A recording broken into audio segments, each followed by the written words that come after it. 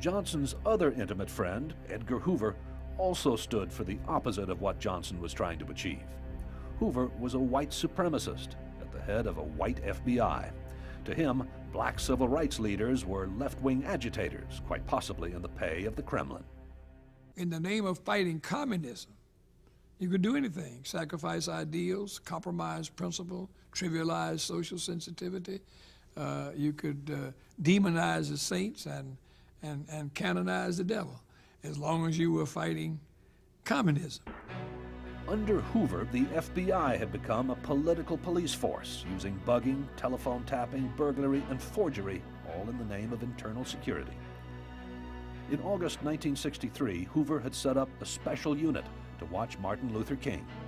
It reported that the American Communist Party had planted two senior and secret members in Dr. King's entourage, where they had become close advisors. One was a Jewish lawyer named Stanley Levison, the other, a former young socialist, Clarence Jones. Was I ever, in fact, a member, a card carrying member of the Communist Party? The answer is no. It's not as if Martin King could be led by the nose by a Stanley Levison or by a Clarence Jones. That's absolutely nonsense.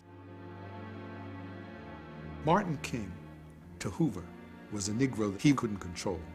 He was, in the classic case, the uppity, arrogant, nigger.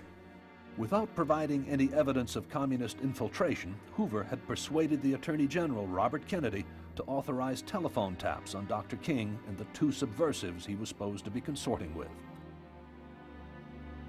Kennedy agreed to a trial period of one month's secret surveillance.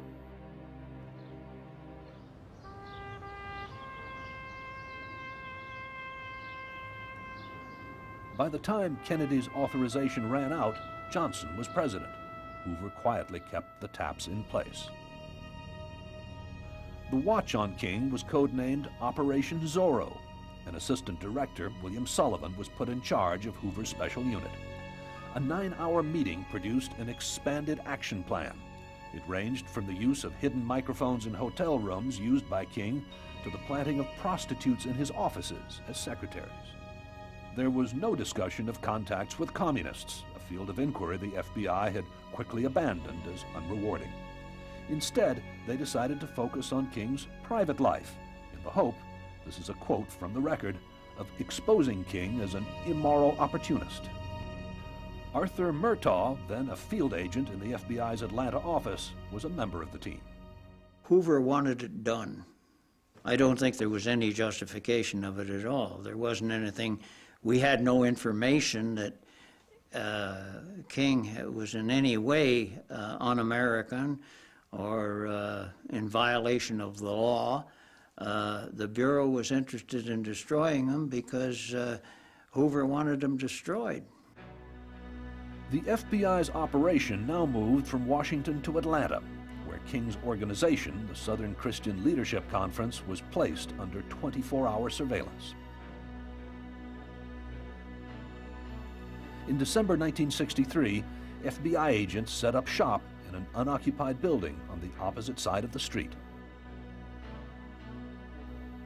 Everyone entering and leaving was photographed, including King, who was to be followed wherever he went in America. The agents involved all knew the objective, to gather evidence Hoover could use to destroy King as a civil rights leader. They started off hating him because he was black. He was a I hate to use the phrase, but he was a nigger. The agents that I was working with on this particular squad had been brought up to believe that uh, all black people were dangerous, that they were uh, uh, dishonest, that they lacked character, that they were uh, sexual perverts, uh, all kinds of uh, hatred Murtagh says it was the most extensive surveillance operation ever undertaken by the FBI. Inside the Bureau's Atlanta headquarters, 10 agents assigned to the case were given their own segregated area. In one room, agents recorded all telephone calls to and from the SCLC offices and King's home on nearby Johnson Street. In another room, again, according to Murtagh, Hoover's G-men busied themselves by dreaming up imaginative schemes for the entrapment of the Reverend King. Whether the new president knew what his friend Hoover was up to, we do not know.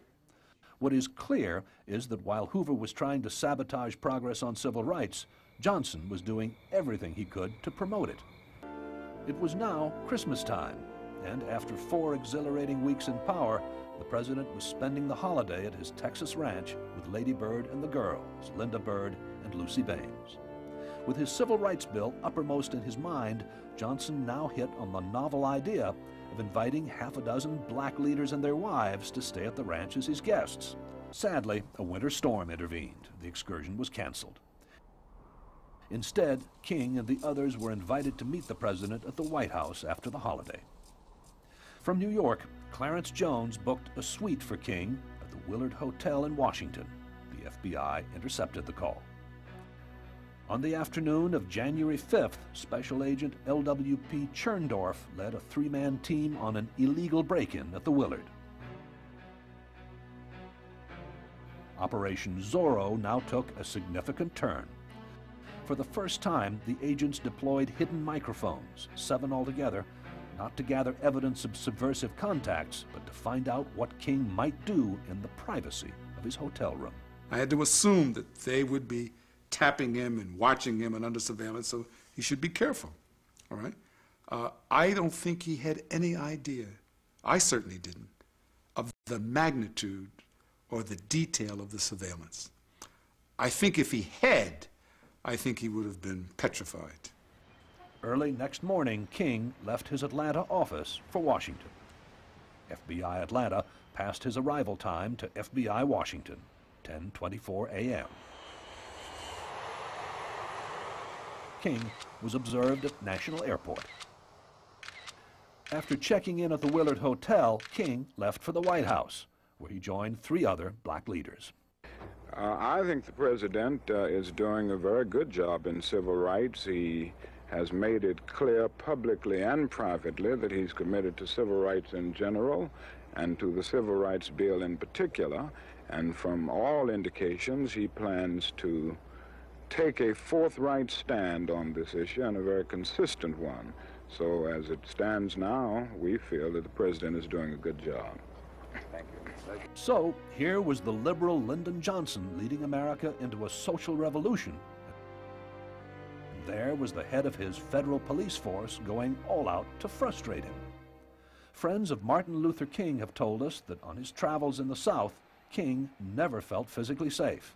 But at the Willard Hotel in Washington, King thought he could relax with his friends. King didn't know about the listening post the FBI had set up in an adjoining suite. For 17 hours, agents recorded conversations between King and several colleagues and visitors, two of whom were women. Let me just say this. Whatever occurred during that 17 hour period in that hotel suite that, uh, that concerned Hoover, that was between Martin King and his family and Martin King and his God. William Sullivan and Edgar Hoover went through the tapes together. The bugging team was told it had unearthed enough to destroy Dr. King. Hoover ordered a full transcript to be made and a summary to be hand-carried to the White House. An internal memo suggests it was shown to Walter Jenkins, White House Chief of Staff, and the President. The White House, or President Johnson, Neither in the LBJ telephone tapes nor in other available records is there any evidence pointing to Johnson's involvement. If he did read the Willard Hotel bedroom transcripts, he would not have wanted them to be leaked. Clarence Jones explains why. If that kind of information had come out, it would have been used to discredit Martin King, would have been used to discredit the civil rights movement would have been used as a very, and probably effectively used, as a smokescreen to say, you see the kind of people who really want these civil rights, you see the kind of people there really are. You're not dealing with people who are, who are, who are legitimately oppressed. You're not dealing with people who are people of character or good morality and all this. on all this moral plea to the consciousness. Look at the kind of people they are. They're people who are communists. They're people who engage in, uh, in, in so-called immoral activities. I think it would have been devastating. The success of the Willard Hotel sting stimulated Hoover's appetite. More than a dozen FBI field offices were drawn into Operation Zorro as King traveled across America from Hawaii to New York. And FBI records show, or claim, that he was caught out in at least two more sexual encounters. On March 9th, the president and the FBI chief spent four hours together in the Oval Office. Hoover, after four decades as head of the FBI, was nearly 65 and facing mandatory retirement. Only special legislation could keep him in office. If Johnson had wanted to get rid of Hoover, this was the time to do it. But Johnson had never failed Hoover, and he didn't fail him now. J. Edgar Hoover celebrates his 40th year as head of the FBI. The FBI chief will reach retirement age this year, but President Johnson has signed a bill permitting him to stay on. It's a happy anniversary for Mr. Hoover. On July 2nd, the 1964 Civil Rights Bill outlawing institutionalized segregation was approved by the Congress and signed into law in the East Room of the White House. Dr. King, now the undisputed leader of black Americans, was placed close to the president's chair. Also there, but on the sidelines, was Edgar Hoover. President Johnson greeted him warmly. Hello, Edgar. Glad to see you, my friend. You deserve... Indisputably, the new law of the land was now on the side of Martin Luther King, but the nation's chief law enforcement officer failed to call off his vendetta. A written FBI directive said this. We must intensify our coverage of King, this moral degenerate. The main goal is to neutralize or completely discredit the effectiveness of King as a Negro leader.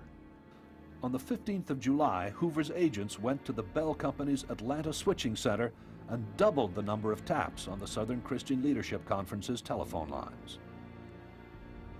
FBI men monitoring calls between Coretta King and her absent husband noticed that his frequent travels were straining their marriage. Telex to Hoover said this. There is increased evidence of marital discord in the King family. The current situation could conceivably result in a breach between the principals. Or better still, a divorce.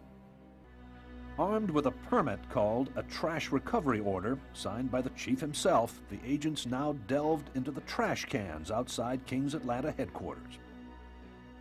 They were looking for a sample of the handwriting of Andrew Young, the movement's personable office manager. Then the forgers went to work. They took the handwriting, duplicated it, wrote all kinds of messages uh, to Mrs. King, uh, trying to make it appear that uh, people who were very close in his own personal circle were involved uh, sexually with his wife, trying to get warfare going between the players in the, in the King camp. King was spending a couple of weeks at home in Atlanta working on a book one evening, FBI men monitoring his phone calls learned he was to visit a woman friend. Well, there was some indication that King uh, was going to see this particular woman for illicit sex. They had an elaborate scheme. I was in the office that night, I remember. And uh, they uh, made the call to the fire department from the office and told them that there was a fire in this house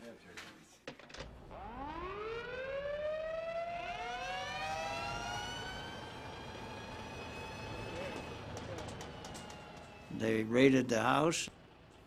Uh, King came out, got in his car, and went home. Psychological warfare to try to destroy the man any way you could.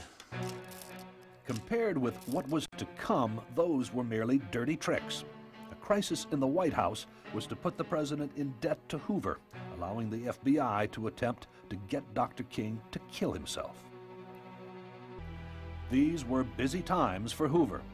The news now broke that Martin Luther King had won the world's most prestigious honor, the Nobel Peace Prize. The news drove Hoover into a frenzy. The FBI's Domestic Intelligence Division now prepared a book entitled Martin Luther King Jr. his personal conduct. A copy was sent to Bill Moyers, the President's Deputy Chief of Staff, with a letter asking permission to send the book to members of the Cabinet. Moyers agreed. Copies were sent to the Secretary of State, Dean Rusk, Robert McNamara at the Pentagon, and John McCone, Director of the CIA. But Hoover wanted to share his files on King with the public. He ordered his staff to use their contacts in the press to get the story out. One such contact was the chief Washington correspondent of the Los Angeles Times, David Kraslow. He told me that Dr. King was a notorious womanizer and that he'd had a number of sexual escapades and that they, the Bureau had proof of this. And uh, he says, well, let me read you a portion of one, one of these uh, tapes. And he began to read from a transcript. Uh, the raunchiness is beyond description. What shocked me was I knew that he was high enough up in the hierarchy of the Bureau that this could not have been done without Hoover's blessing. It was despicable. It's none of their business. No reporter touched the story. Hoover now returned to his attack on Dr. King. He invited two women reporters to his office for a background chat.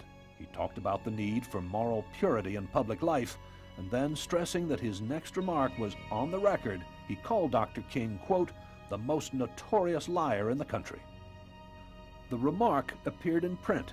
When the news magazines picked up the story, at least one civil rights leader called for Hoover's resignation.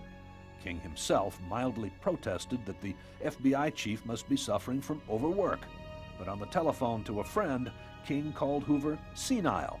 And when the FBI monitors put that in their logs, Hoover went public again in a barely coded speech in Chicago. When man places himself above the law, he aids the communists' relentless effort to destroy the ideals of our civilization. The man who has no objective values by which he judges his actions, who allows his passions to run wild, unchecked by a moral standard of what is right, that man is surely risking the loss of his immortal soul. What Hoover's agents did next verged on the criminal. Sullivan took his favorite tapes to the FBI's audio labs, where senior technician John Matter transferred the most incriminating parts to a single reel. A third agent, Lish Whitson, flew with the tape to Miami Beach and posted it from there to the King family home in Atlanta, together with an anonymous letter. FBI Atlanta agents listened in to make sure that the package had safely arrived. Martin called and said, uh, uh, better come over. I want you to hear something that uh, Mr. Hoover has sent us. And uh, so I went over the next day and uh, we sat down and listened to the tape. And, and uh, we never listened to all of it because it became boring.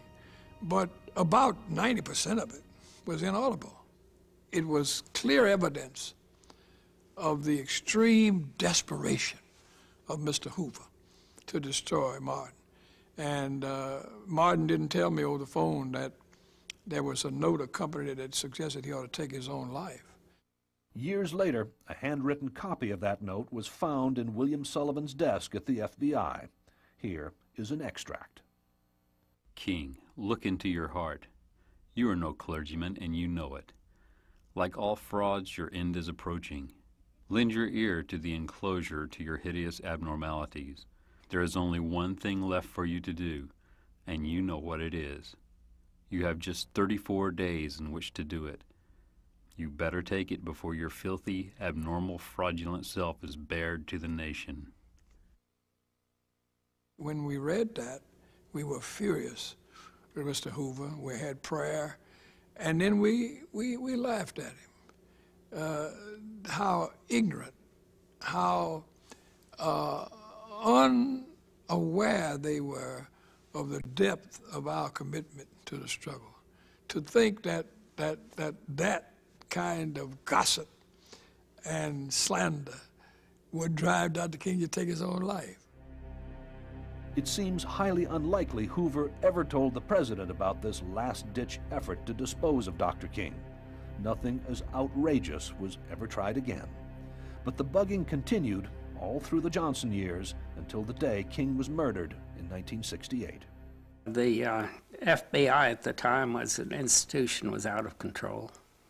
It was a lawless institution uh, from its own point of view, even.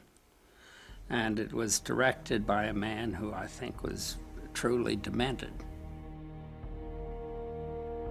The existence of the King surveillance tapes only became known three years after Hoover's death in 1972. A court subsequently ruled that their content be sealed until the year 2027.